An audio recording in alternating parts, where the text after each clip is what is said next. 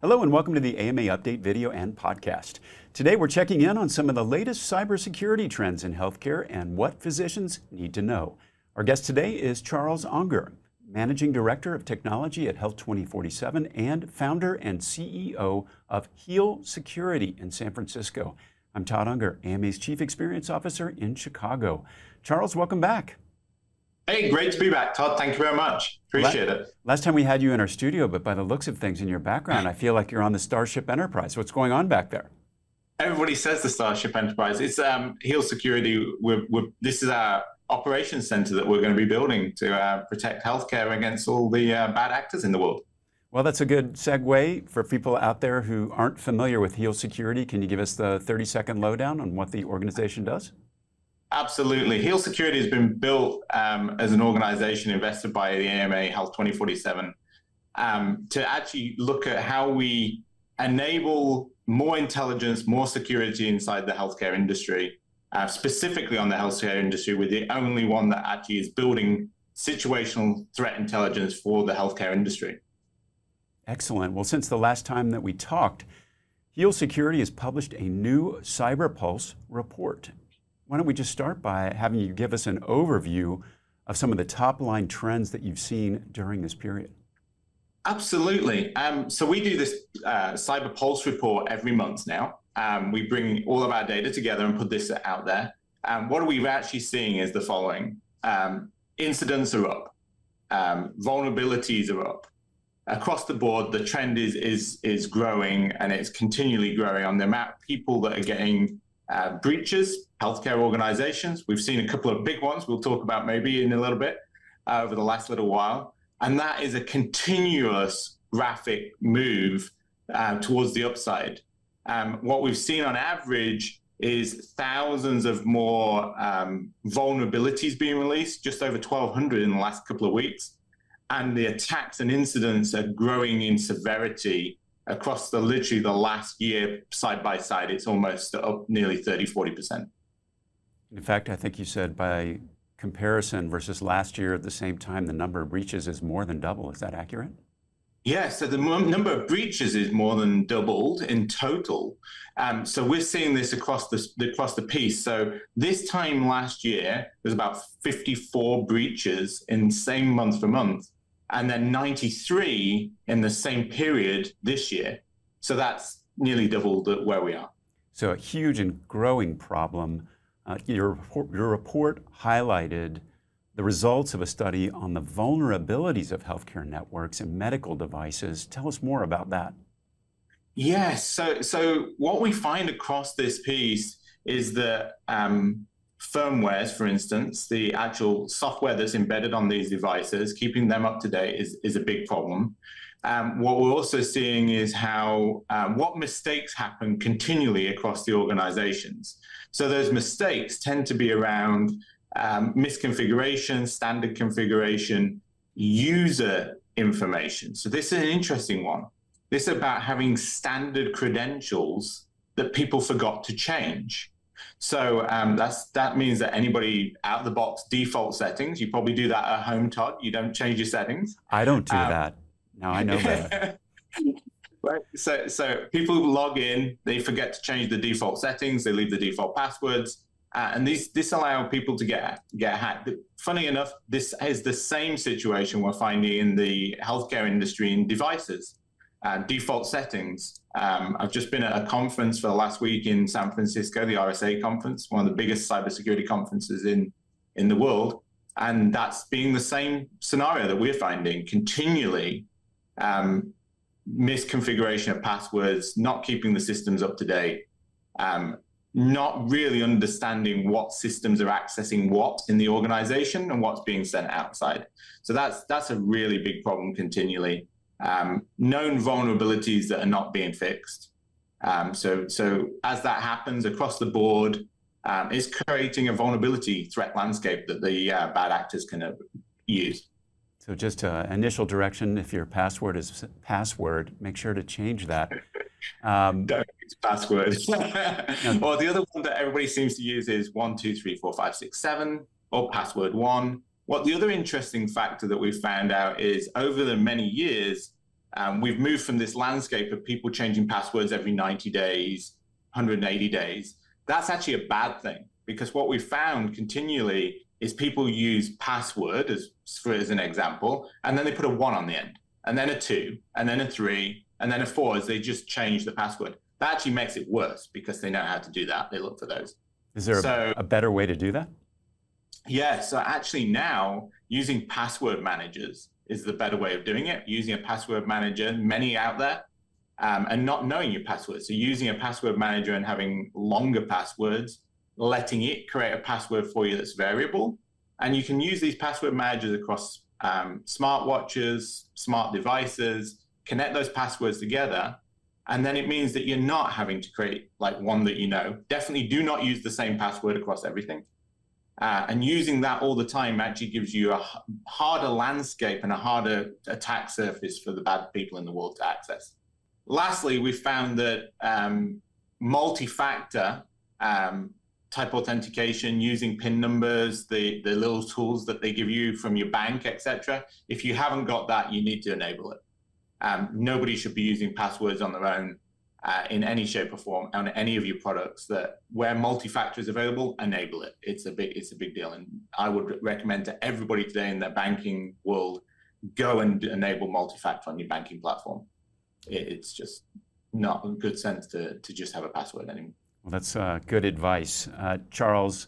One thing I want to ask you a little bit more about because we're talking about breaches into systems, but let's look at the topic of medical devices because we're seeing vulnerability there in that arena. What are some of the initial steps that health systems and practices should take to mitigate issues around medical devices?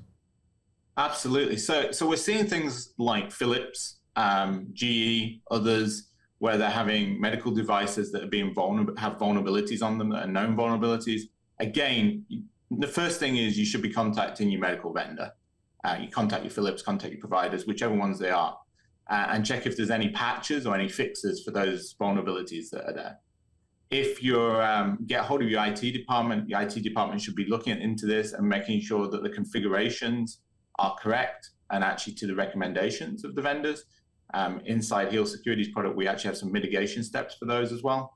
Um, making sure that the uh, network configuration and protection around your network uh, is is correctly set up. So it, it, seems very strange in the world that I live in, but making sure that small practices have a firewall of some kind, making sure that we know where the data is going outside that firewall. So having an IT professional look at that and making sure there's no spurious data just leaving your building to the middle of nowhere. Uh, it's amazing what you find. Even looking at my house, uh, I can see strange data going from different devices I have in my house out into the world. And that's an important thing. And lastly, make sure that, again, you, you've got the default configurations that have, have not been, have been changed. If it has a administrative password on some of these devices, which tends to have or a pin lock code, make sure they're enabled. Charles, you mentioned firewalls. You mentioned the password issue again. Is there anything else that uh, physicians can do to minimize the chances of something like this happening in their own practices? You know, what we've found is people, it tends to be internally created from a lot of ways. So when they're using email, when they're using uh, USB sticks, it used to be a big thing. I used to get them sent to me all the time. Free USB stick, put it in your device. Just don't do it. Just don't do it. Don't use freebie USB sticks. Watch what you're doing from email, phishing attacks, people sending data into you saying, hey, look, click on this. I get them all the time from people like uh, DocuSign. I think it's a DocuSign. They're very, very good. And it says, hey, DocuSign, there's a contract you need to update one. People just click on it. Mm. That's just be aware of what you're doing. Um, when you're using your email, everybody's really quick to answer emails, just open answer.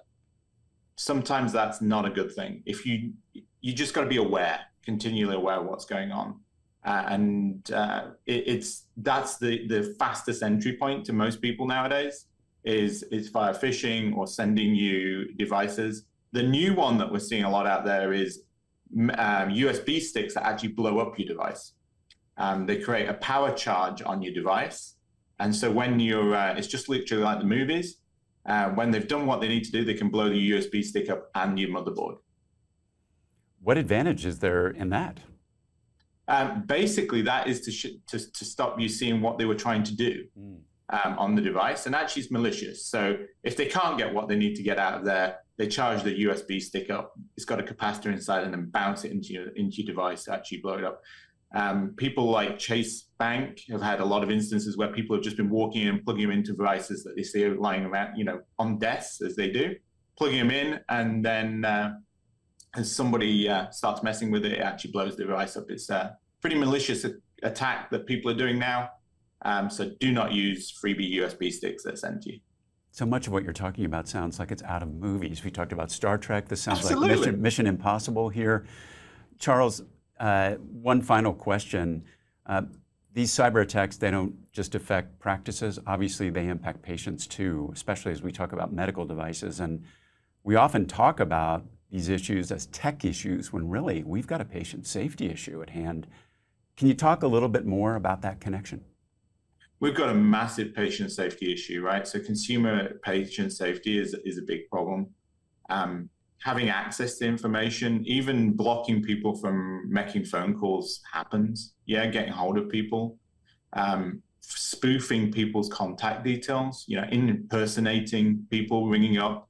Um, believe it or not, actually, there's quite a few. You know, you you've seen a lot of this impersonation happening to defraud people, and that's happening more and more now, where they're ringing up and saying, "I am from a bank" or "I am from something else." The easiest one that you trust, because we trust, right, is if I ring up and say I'm from a physician's practice or I'm from a healthcare org, you owe a payment, XYZ. That they've been looking on that consumer's um, or that patient's device and see that and try and defraud people. That's a big deal.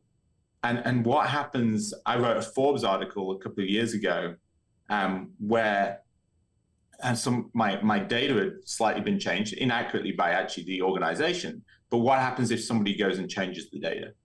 So they're doing that to actually defraud, possibly, um, looking at scripts and issuing scripts and actually going get getting pharmacies to prescribe the script um, and actually getting the drugs out for another individual and not you.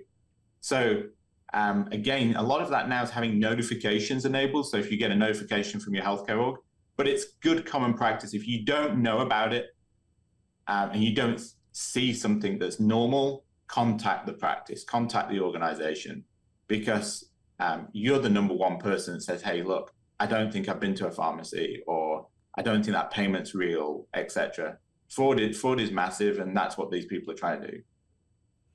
Charles, for anybody that wants more information and to get the Pulse report we talked about, where should they go? Contact healsecurity.com. It's up there, and uh, you can download a free copy of the Pulse Report every month. We make it free. Um, we believe in in helping the community, and that's what it's all about. Charles, thanks so much for joining us. We're going to look forward to seeing you again soon. To learn thanks more, much, to learn more about cybersecurity, physicians can check out the resources on the AMA Ed Hub.